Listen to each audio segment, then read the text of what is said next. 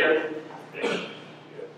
Uh, good morning, everyone, and uh, uh, many thanks first to the organizers for putting together this uh, absolutely inspirational uh, program and also for this opportunity to speak. Um, it's a challenge to speak on the last day because of everyone's attention span is kind of down. But uh, uh, I have an easy task today because uh, two previous speakers have covered most of the ground, and so all I need to do is just provide some complemented with some strokes. So let me just start with the uh, introducing this uh, uh, UCI team. Pavel is in the audience. He is responsible for all the quasi-classical calculations, and Zhenyu Zhu is postdoc with uh, Steve. Uh, he's responsible entirely for all the DMRG data we, we have. Uh, I'm going to show you and not show you, which are in the background.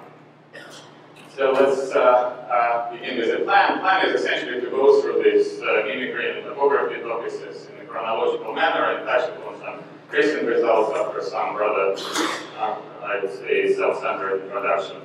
So this is, uh, in case uh, uh, your name doesn't appear in the next few slides, uh, uh, it appears here.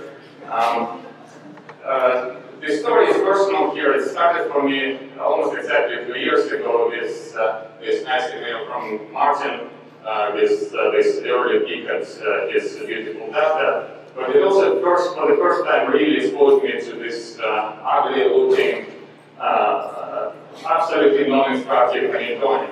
So for a moment, it looked like as if someone came down from the ice mountain, dropped a couple of plate plates, and, and people pick them up and, uh, started using them, while us were in really in a huge confusion of this can happen on our beloved triangle like this. And I say, I say we, for us, is because uh, I actually had a huge moral support from Federico Becca.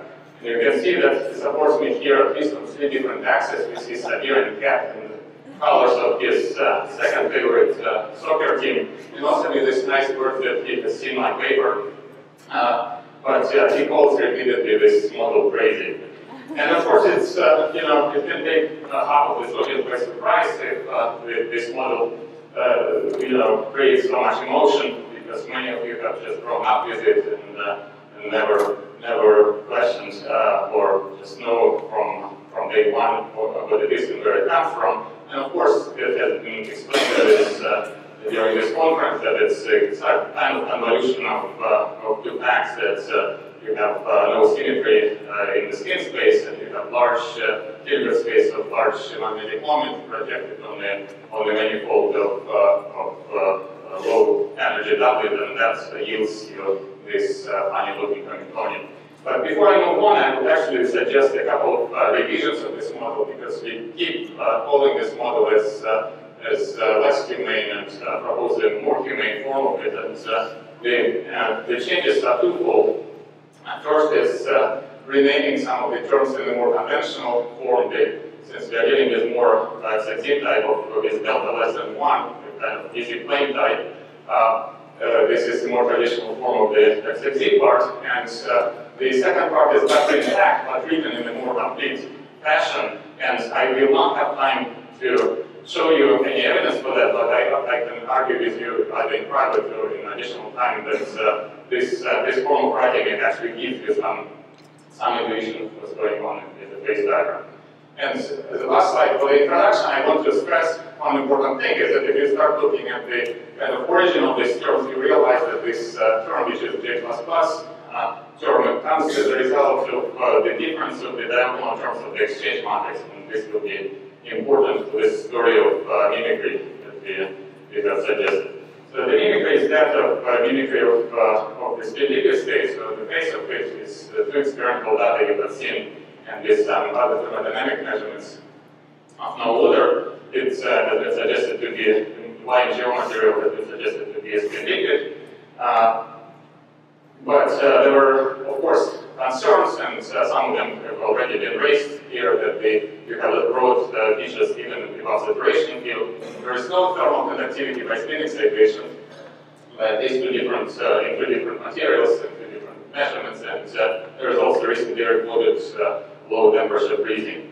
And again, from day one, it was known that 50% 50-50% mixing of two different is, uh, should be important for, for uh, the system which is, uh, which comes as a, whose, whose low energy Hamiltonian is the result of uh, some crystal species which cares about charges.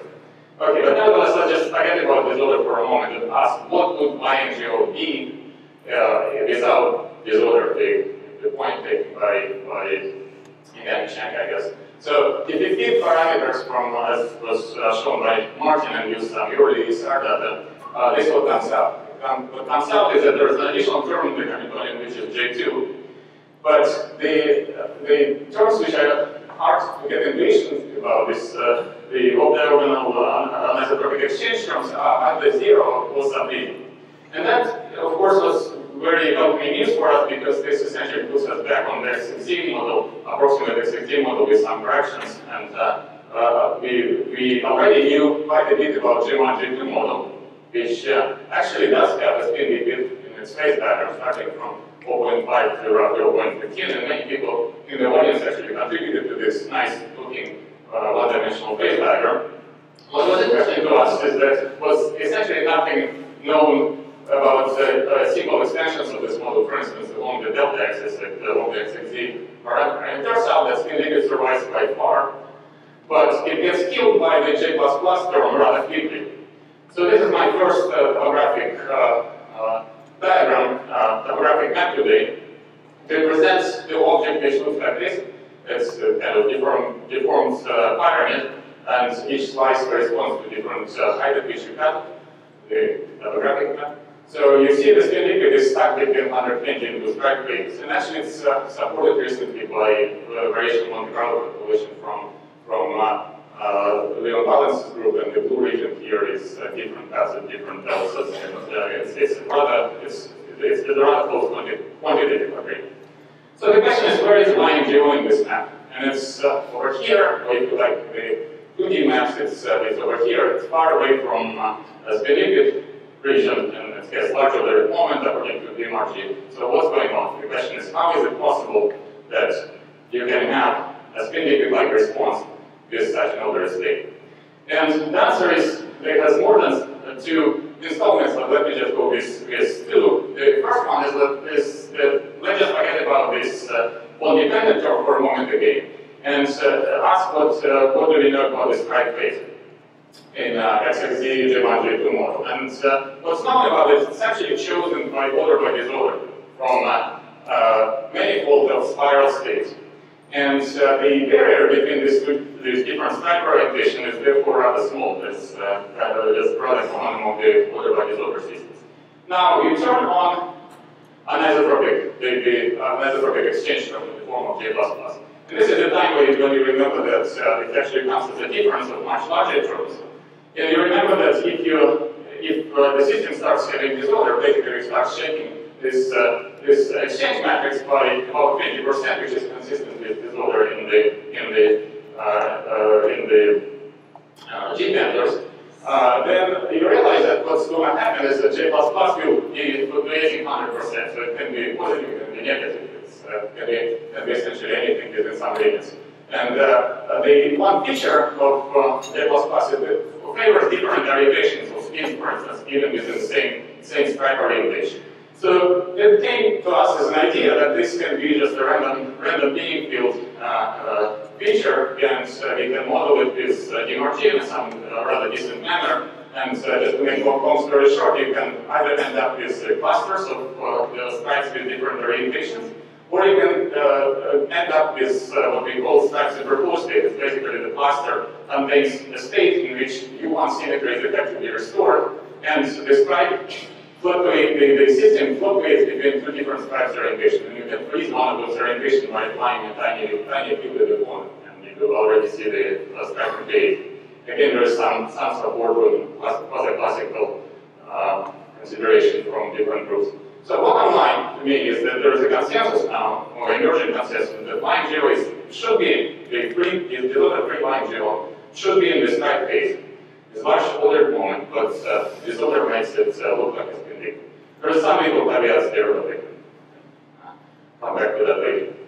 Okay, so this is uh, the second the second paper in this uh, installment, and the contains other interdisciplinary works, uh, including isomorphism, and I will touch about that uh, towards the end. So, uh, we decided because of some uh, questions that how does, uh, you know, well, we explored some part of the phase diagram, but you haven't explored the entire phase diagram, so we decided to explore the entire phase diagram. In a sense, we just abandoned the J2 term and asked, what would nearest neighbor, most generic model of the type uh, Chen has proposed is going to look like? How does the phase diagram look like?